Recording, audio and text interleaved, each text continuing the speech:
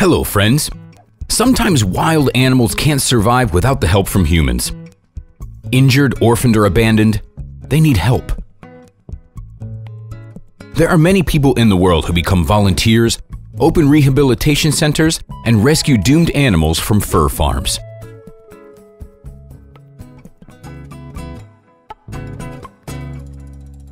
Our story today is about the only air bear in the world, the world famous internet star, Mansur. The bear that was saved by the pilots twice. The second time, they saved him from a fate much worse than death.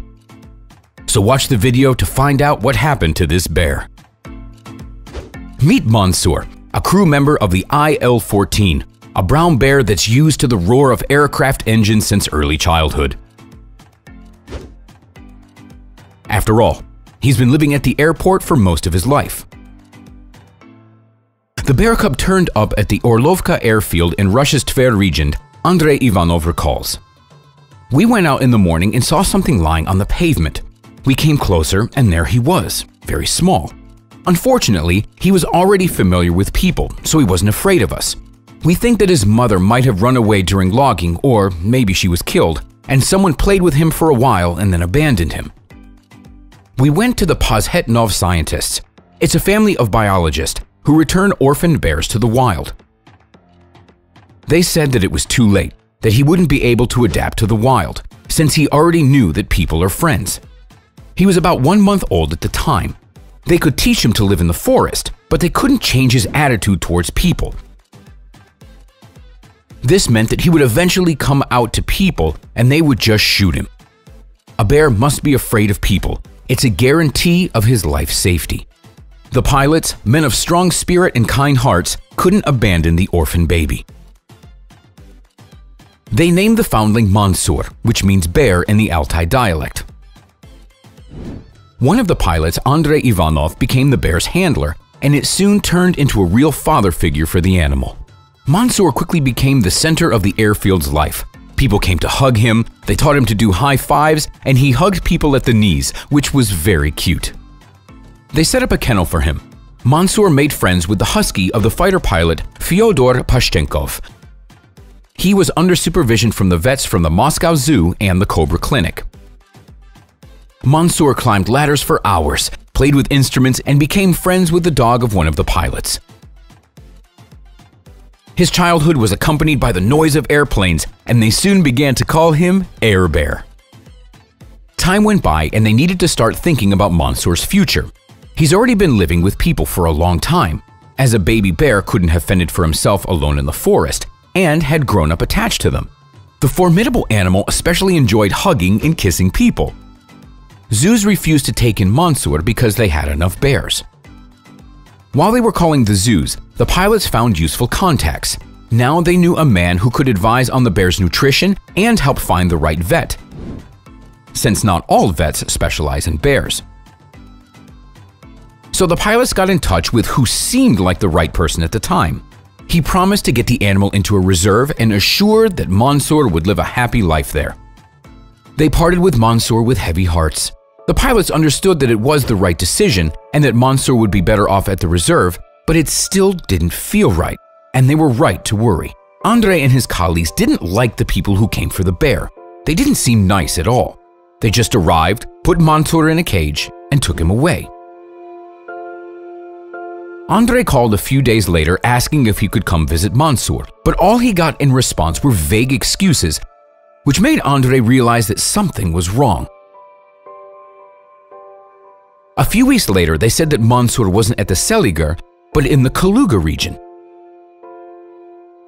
Andre made a few calls and found out what reserve it was. And then they asked the local pilots about it, and it turned out that there was a baiting station there. A baiting station is a place where trainers and owners train dogs to hunt wild animals. It's hard to imagine what the bear had to go through in that terrible place. Another pilot found the station's phone number, so he called and asked if he could train a husky to hunt a bear. The men went to rescue their friend. They could already hear Mansur's roar at the entrance of the station. The bear was desperately scraping at the iron bars of the cage. The pilot called out to the animal by his name and he froze in surprise. When the cage opened, Mansur literally jumped into Andre's arms, and then he began to joyfully greet other men, licking their hands and hugging their knees. The bear didn't look well. His coat was soiled and matted. They took him for a swim. Seeing the pond, the bear happily jumped into the water. He loved swimming.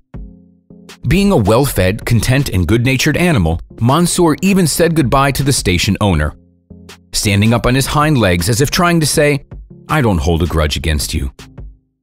And he spent all the way home sitting with his nose glued to the car window. After the incident, the pilots decided to keep Mansur. They moved him to a larger airfield in Oreshkovo, Kaluga region.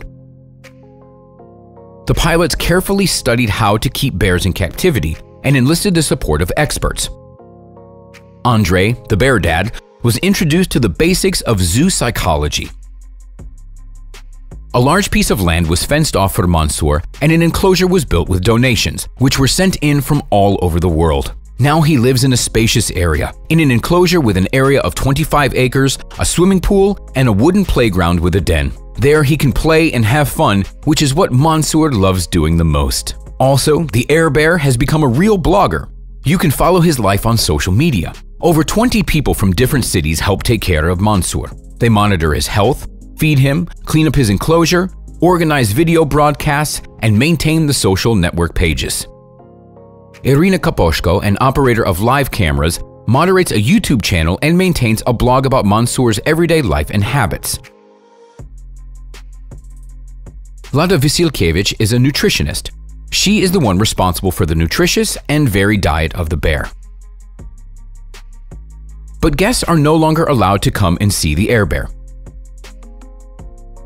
Initially, Andrei Ivanov, who has been taking care of Mansur since he was little, allowed people to come and visit the bear. People from many different places came to see Mansur. All they needed to do was contact his guardians in advance, people brought treats and chatted with the friendly bear.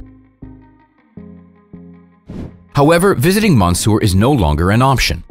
Andrei Ivanov says that too many people were interested in the animal, and he had to give up on the idea of letting people come to visit. There were too many people interested in Mansur, so we had to cancel the free attendance. People came too close to the bear and behaved irresponsibly. Starting this year, we gave up on the idea of open visitation. We aren't a zoo. We don't pursue the goal of showing off the animal, says Andre. Today, Mansur is a fully grown bear weighing over 200 kilograms. Mansur is a vegetarian, but loves fish as well as grapes, honey, ram, pears, and watermelons. By the way, the bear is not aggressive at all, even towards dogs and cats. And that's it for today, friends. Did you like today's video? Let us know in the comments like the video, and don't forget to share it with your friends, as they might also be interested to learn about the fate of the air bear. Thanks for watching, and we'll see you next time.